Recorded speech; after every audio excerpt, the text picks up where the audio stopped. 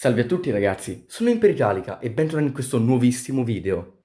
Quest'oggi in Deus Lo Vult percorreremo gli anni dal 950 per arrivare finalmente all'anno 1000. Quindi mettetevi comodi, ascoltate la storia perché l'Europa sta per cambiare per sempre. Anno 958. Il grande Khan dei turchi, Seljuk, decide finalmente che è giunto il momento.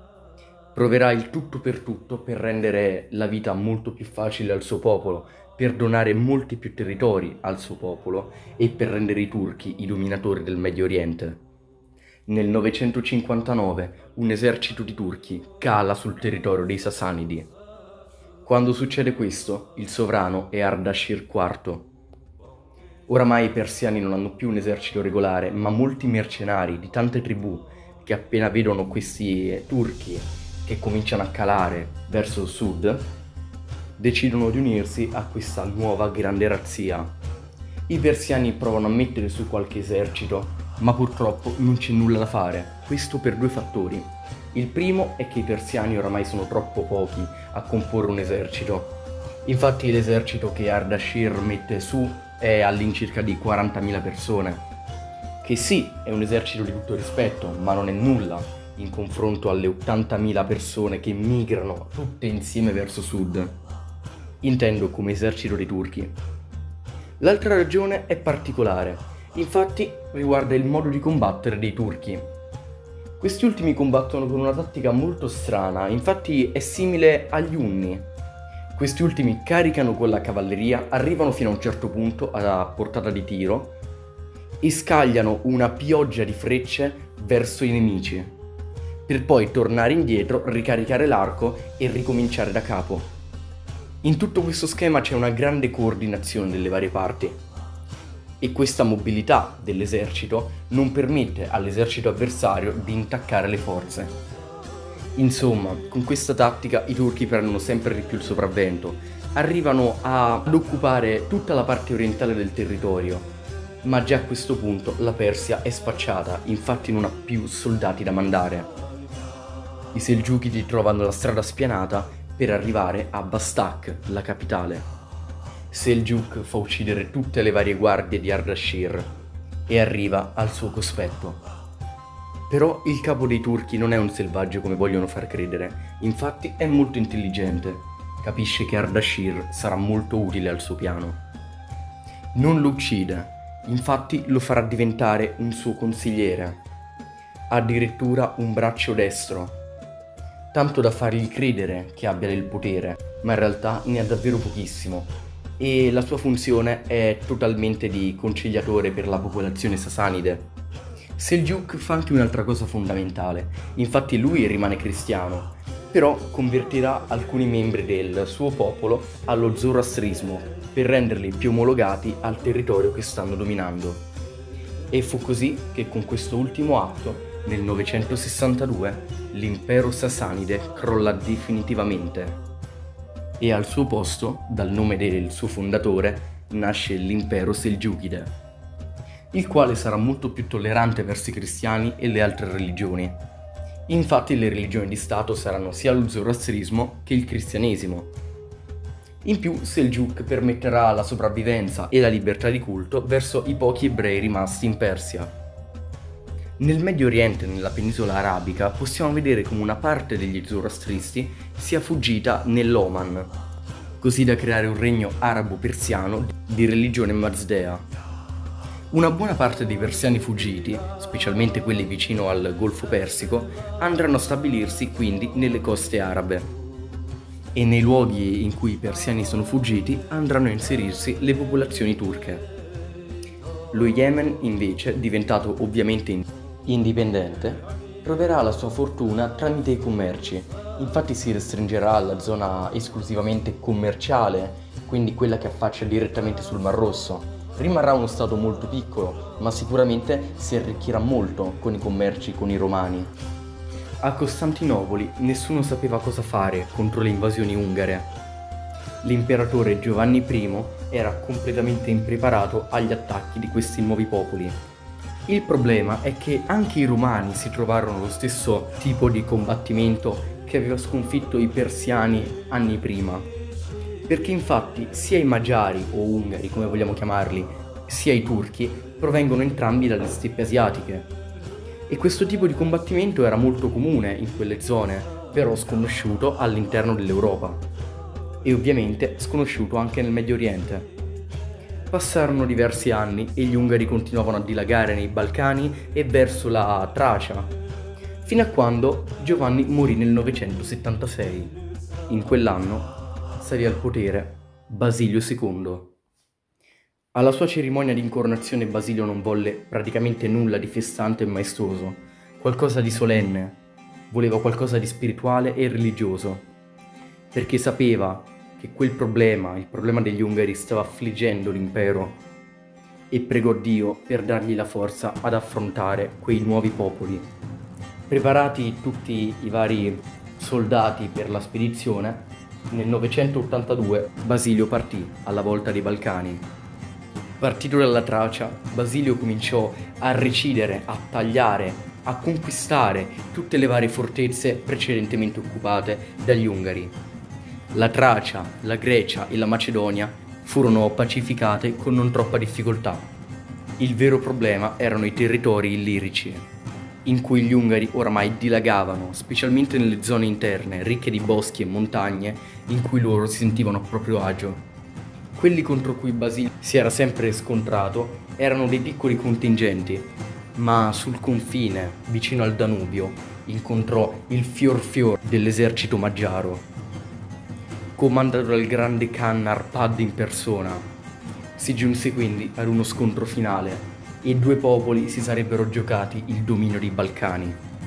Arpad mandò subito la cavalleria a bersagliare di frecce la fanteria di Basilio però i fanti rimanevano bloccati, fermi, con gli scudi alzati.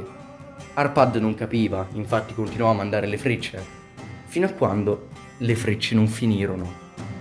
Arpad non si preoccupava molto, infatti comunque l'esercito di Basilio era molto piccolo, all'incirca 5.000 persone, mentre invece quello di Arpad era ben più grosso, arrivando quindi a 18.000 persone.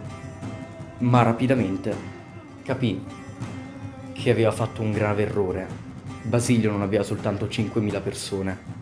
L'imperatore era partito alla testa di un esercito di 30.000 uomini. Era impossibile che fossero stati fatti tutti fuori. E in più, conoscendo il nuovo imperatore, Arpad sapeva che non sarebbe stato così sconsiderato da attaccarlo con 5.000 uomini. Dalle foreste spuntò il resto dell'esercito e fu lì che la fanteria immobile cominciò ad avanzare ci fu un accerchiamento a tenaglia e poi morte. Dei 18.000 uomini magiari ne tornarono 200. Arpad non ne uscì da quello scontro, finì infatti ucciso. Ma Basilio sarà molto pragmatico, infatti porterà suo figlio Estefan alla corte di Costantinopoli. Il popolo dei Magiari cominciò a non razziare più i Balcani nei pressi del luogo dove si era combattuta la battaglia, Basilio II fece erigere una nuova città, Leucopoli, la città bianca, quella che per noi nella nostra timeline è Belgrado. Fondata a Leucopoli, Basilio portò Estefan a Costantinopoli, come detto, e cominciò a distruirlo, e poi, una volta pronto, nel 993, lo convertì al cristianesimo nominando quindi Estefan, figlio di Arpad, Stefano I Arpade di Ungheria. Stefano tornò nella terra dove le sue tribù erano stanziate e fondò un regno cristiano a tutti gli effetti. Era nato il regno d'Ungheria. Fedele regno amico di Bisanzio, il nuovo regno divenne un amico di Costantinopoli e così Basilio, anche per tenersi buono, quell'amico molto prezioso, donò alcuni territori ai confini con il Danubio, perdendo sì qualche territorio, ma guadagnando molta influenza nel territorio centrale dell'Europa. Poco più ad ovest del Regno d'Ungheria troviamo i regni germanici. Questi ultimi si specializzarono nella cristianizzazione dell'Europa orientale, proprio per una missione autoimposta. La Baviera sarebbe concentrata nel cristianizzare i regni slavi, mentre invece la Sassonia nel cristianizzare o anche conquistare i regni germanici del nord, ovvero i regni vichinghi. La Baviera comincerà a cristianizzare alcune tribù slave e infatti da queste cristianizzazioni nasceranno due regni. Nel 980 nascerà il regno di Moravia e nel 995 nascerà il regno di Sorbia. Ottone I, come dicevamo, stava invadendo la Danimarca però più che altro per annetterla. Però purtroppo quest'opera non andrà a buon fine. Infatti Ottone I verrà ucciso nella battaglia di Colding dai danesi. Quindi sarà suo figlio, Ottone II, a continuare l'opera, però più che conquistare la penisola, vorrà cristianizzarla. Così nel 971 nasce finalmente il Regno di Danimarca, ufficialmente convertito al cristianesimo l'ira del cristianesimo si espande anche più a nord, infatti verso il 985 verrà creato anche il primo regno di Norvegia, sotto la dinastia degli Harald, ovviamente anche loro convertiti al cristianesimo. Parlando invece brevemente della penisola iberica, notiamo come i Visigoti, dopo alcune facili battaglie, dato che comunque i normanni non si erano stabiliti in massa come in Francia, hanno riconquistato l'intera Galizia, Intanto in Italia il vescovo di Roma vuole sempre avere più potere, però questo non gli è permesso, infatti è sotto l'impero romano, in cui vige il cesaropapismo, ovvero la dottrina in cui il papa è sottomesso all'imperatore di Costantinopoli. I Longobardi, vedendo questa come un'occasione per innalzarsi, riconoscono l'autorità papale sui territori italiani dell'impero, che qui comprendono tutta l'Italia peninsulare, l'Istria la Corsica, la Sardegna e la Sicilia. Riconoscendo quindi l'autorità papale praticamente inesistente su quei territori, il Papa decide di nominare il re dei Longobardi legittimo re d'Italia. Quindi il regno dei Longobardi diventa ufficialmente regno d'Italia. Ovviamente i romani non riconosceranno questa cosa e tratteranno il Papa un po' come un buffone, non ascoltandolo e diciamo facendolo fare però alla lunga questo potrebbe scadere in diversi problemi. Infine parliamo un attimo del Rus di Novgorod. In questi ultimi anni si è cominciato ad espandere sempre di più verso sud e verso nord, comprendendo sempre più tribù slave. Infatti in questi anni, dal 950 fino al 1000, in cui questo Rus, da regno pseudo-vichingo, comincia a trasformarsi definitivamente in un regno slavo, Concludiamo con la cartina delle religioni. Infatti vediamo come nel Medio Oriente il cristianesimo, ovviamente barrato, quindi in minima parte, si è espanso in Persia, mentre invece nei regni vassalli il cristianesimo è diventato la religione dominante. In Ungheria oramai il cristianesimo è ben affermato, così come nei regni slavi, che comincia pian piano a farsi sentire. Stessa cosa vale ovviamente per i regni danesi e scandinavi, mentre invece i bulgari si convertono totalmente al cristianesimo, abbandonando definitivamente il loro culto del sole. Bene ragazzi, il video termina qui, vi ringrazio per la visione. Il prossimo episodio, come sempre, arriverà tra una settimana. Ringrazio sempre Andrea per le mappe e davvero ringrazio voi per il supporto. Spero davvero che riusciremo ad arrivare almeno ai 2000 iscritti per fine anno. Ma va bene, ci conto. Intanto voi iscrivetevi al canale, lasciate un bel mi piace e attivare la campanella sempre se volete. E niente, noi ci rivediamo ad un prossimo episodio di Deus Lovult. Ciao legionari!